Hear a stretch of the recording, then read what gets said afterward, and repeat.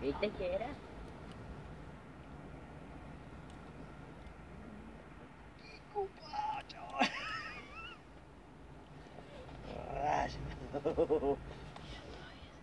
Estoy full. Ah, muy bien,